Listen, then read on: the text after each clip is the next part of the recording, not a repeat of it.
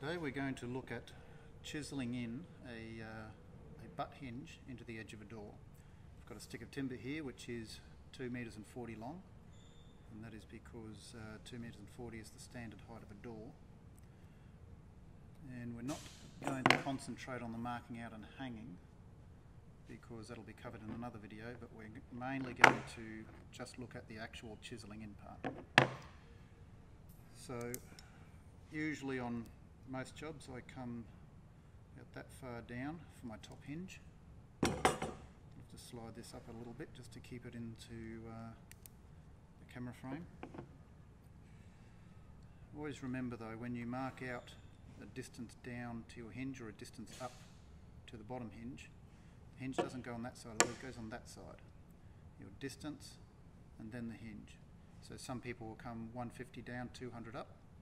Some people have slightly different measurements. So this is where this hinge is going to go in.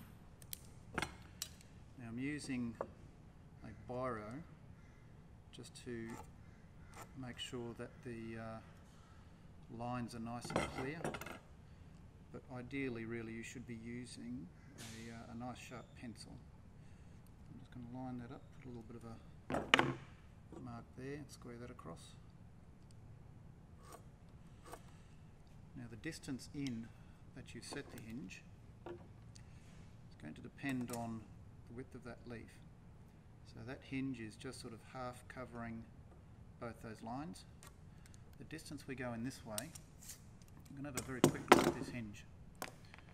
You can see here on one side of the hinge there's a little cutout but on the other side of the hinge that leaf wraps all the way around. I call this the big side of the hinge, that's not a trade term, that's just one I use, and I call this the small side of the hinge.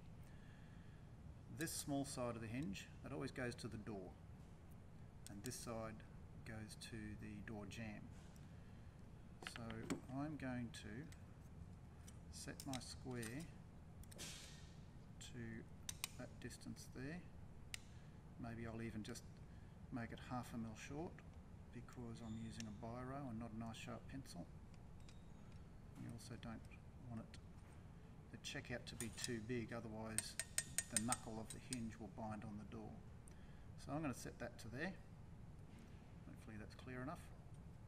And I'm going to mark that right along here. And that's where my hinge is going to go.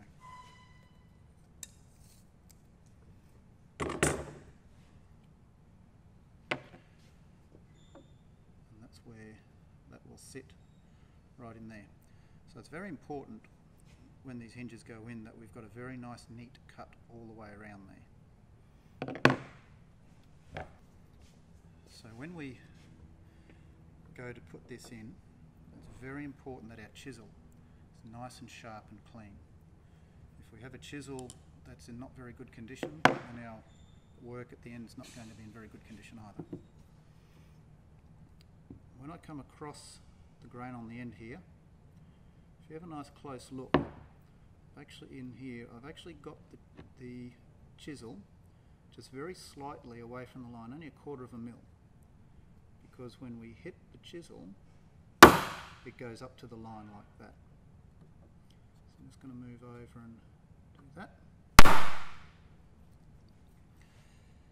And I'm going to do the same on this side quarter of a mil off the line.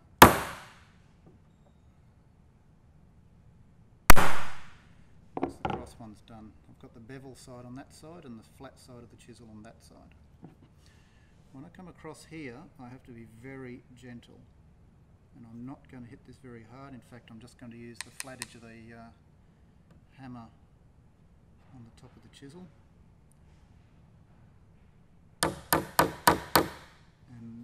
even going to go down as far as I eventually need to. Because if I try and do the whole lot in one hit, I'm just going to split the corner of the, uh, the corner of the door off. So I've gone along that line. Now this next bit is the uh, important bit. We need to take that all out down down to a specific depth. And I'm not going to try and chisel all the way along because I'm going to be at the mercy of the grain. If the grain goes up and down, then so will the, uh, the timber when it comes off. So I'm going to turn my chisel over. Got the bevel side up. Nice shallow angle. I don't want to be right up high like that. The more angle that you've got like that, the easier the next bit will be. And I'm just going to go along, and this is called scaling. Some people call it fish scaling. And take some constant hits out of it like that. You'll notice I'm actually hitting the chisel fairly hard, and that's because my leaf of my hinge is quite thick. That's a quite thick hinge. And it's not the thickest I've ever put in. You can get bigger ones, but you can also get smaller ones. So, depending on how thick that leaf is, will determine how hard you hit this. And after you've had a couple of practice runs, you'll start to get the hang of it. Most people, the first time they do this, they don't hit the chisel quite hard enough. But you'll get, you'll get the hang of it get these nice and close together. If they're too far apart, it makes the next bit more difficult.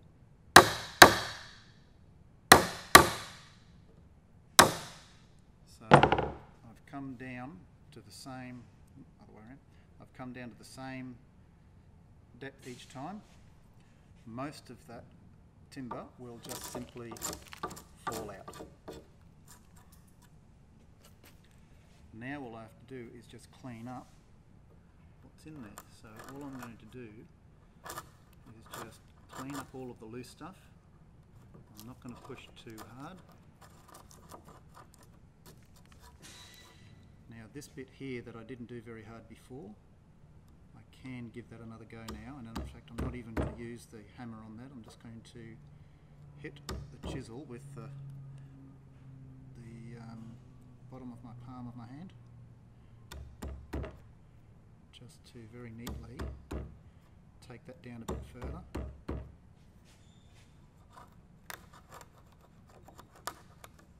Back into that corner.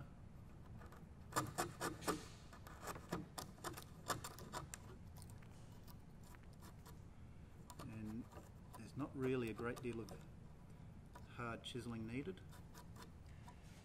I might have to just give that a bit of a nudge with the palm of my hand. And if I feel it needs it, I might even go down there again just to make sure that's nice and squared out. Going across the grain like that, you can afford to hit the chisel a little bit harder. And it's fairly neat work. I'm taking my time with this one. Once you've done a few, you'll get a little bit quicker at it, but the most important thing to do is accuracy, because this is the kind of work that the client will sit and look at every time they come home.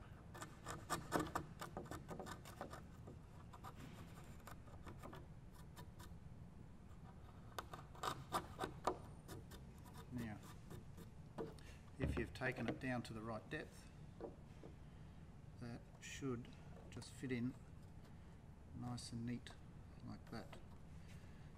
So that is feeling quite flush there and that's good.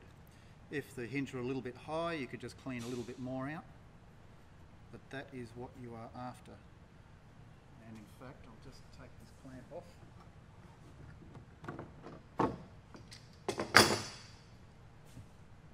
So if I get that a little bit closer to the camera. That is how neat you want these hinges in, just like that. If there's any gaps around there, then straight away, that's the sort of thing people are going to pick on.